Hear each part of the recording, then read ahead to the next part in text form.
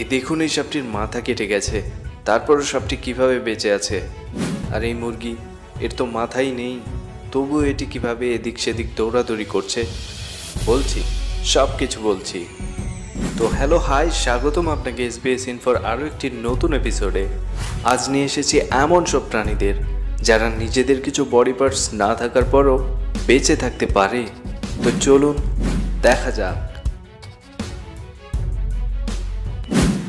তো বন্ধুরা, আপনারা হয়তো কোথাও না কোথাও নিশ্চয়ই শুনে থাকবেন যে কেঁচোকে যদি দুই ভাগে কাটা হয়, তো সেই দুই ভাগ পুনরায় দুইটি নতুন কেঁচো হয়ে যাবে। কিন্তু এটা সত্যি নয়। তবে হ্যাঁ ফ্ল্যাটওয়ার্মসের ক্ষেত্রে এটা একেবারে সত্যি। ফ্ল্যাটওয়ার্মস এমন একটি জীব যার বাচ্চা পেট থেকে নয়, বরং নিজের শরীর থেকে জন্ম নেয়। হ্যাঁ ফ্ল্যাটওয়ার্মস এমন একটি জীব যাকে যদি আপনি কেটে টুকরো টুকরো করে দেন তো এর প্রতিটি টুকরো এক একটি নতুন বাচ্চার জন্ম দেবে। এগুলো নিজেদের রিজেনারেট করে নেবে। মানে আপনি কেটে তো এই প্রাণীকে মারতেই পারবেন না, বরং নতুন বাচ্চার জন্ম নিতে সাহায্য করবেন। কি হবে যদি আপনি ভুল করে কোনো স্যালামেন্ডারের হাত কেটে দেন? কোনো ব্যাপার নয়। হাত নতুনভাবে তৈরি হয়ে যাবে। জি হ্যাঁ দেখুন স্যালামেন্ডারকে যার শরীরের যে কোনো অঙ্গ আপনি যদি কেটে দেন, সেটা পুনরায় জন্ম নেবে। আর ফাংশনিংও একদম পুরনো অঙ্গের মতোই হবে। জানা যায় স্যালামেন্ডারের দেহে থাকা এক বিশেষ প্রোটিনের কারণেই এমনটা হয়, যাতে দেহের কোনো অঙ্গ কেটে গেলেই ওই প্রোটিন পুনরায় সেই অঙ্গকে তৈরি করার কাজ শুরু করে দেয়। আর এভাবেই নতুন অর্গানসের জন্ম হয়ে যায়। আপনি জানেন কি এমন একটি মুরগি ছিল যার নাম ছিল মাইক। আর সে মাথা না থাকার পরও আঠারো মাস জীবিত ছিল। হ্যাঁ ঠিকই শুনেছেন আপনি। মাথা ছাড়াই আঠারো মাস জীবিত ছিল।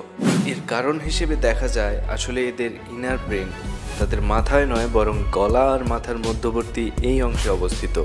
যাতে করে যদি ওপরের অংশ আলাদা হয়েও যায়, তবুও তারা রোজকার কাজ যেমন দৌড়াদৌড়ি করা, পানীয় জাতীয় খাবার খেতে পারে। আর এটাই হয়েছিল মাইকের সাথে।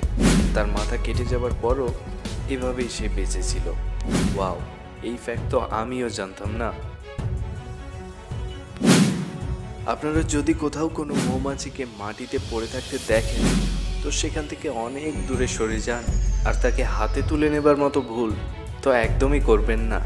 কারণ একটি মৌমাছি মারা যাবার কয়েক ঘণ্টা পরও আপনাকে হুল ফোটাতে পারে। জি হ্যাঁ।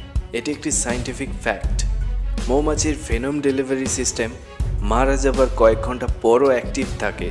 কারণ মৌমাছির এই ভেনম ডেলিভারি সিস্টেমের সাথে তার মাথার কোনো সম্পর্কই থাকে না। এজন্য যখনই এই সিস্টেমের মনে হয় যে তার অ্যাটাক করা উচিত, তখনই সে অ্যাটাক করে দেয়। সত্যি, বিশ্বাস না হলে ট্রাই করে দেখতে পারেন, কিন্তু সাবধান। তো এই ভিডিওতে যদিও আমি বিভিন্ন প্রাণীদের কাটাকাটি নিয়ে কথা বলেছি তবে এমনটা একদমই করা যাবে না। এই ভিডিওতে সমস্ত কিছু শুধুমাত্র আপনার জানার প্রকৃতি বাড়াতে সাহায্য করার জন্য দেখানো হয়েছে। তো ভিডিও ভালো লাগলে লাইক করুন, কমেন্টে আপনার মতামত জানাতে পারেন, আর এই চ্যানেলটি সাবস্ক্রাইব করে পাশের বেল আইকনে ক্লিক করতে ভুলবেন না। ধন্যবাদ।